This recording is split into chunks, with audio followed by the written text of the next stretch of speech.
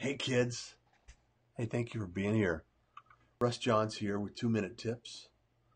And I have I have a dilemma, right? I need your help and I'm asking for your advice because I had a conversation with a great friend and um, he thought that if I say 10 minutes, uh, 2 minute tips in 10 minutes or less and the video is 10 minutes, uh, he probably wouldn't watch it because it's 10 minutes and he's busy. And so I get fewer views.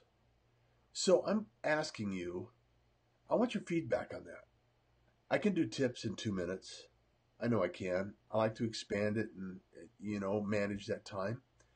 And today's tip is ask the community for advice. Ryan Levesque has the ask method. And the tip of the day, or the uh, quote of the day, is a surplus of effort could overcome a deficit of confidence. Sonia Sotomayor. So I need your feedback. Two minutes is an option. And I could change the name. You know, LinkedIn is pretty valuable. Uh, and I just want to be considerate of your time and also provide value.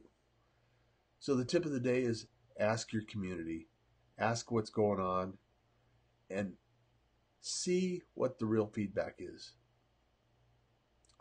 So I'm Russ Johns. This is Two Minute Tips, reviewed by Russ and Two Minute Tips. And so it's Friday night, is it? Maybe? Friday?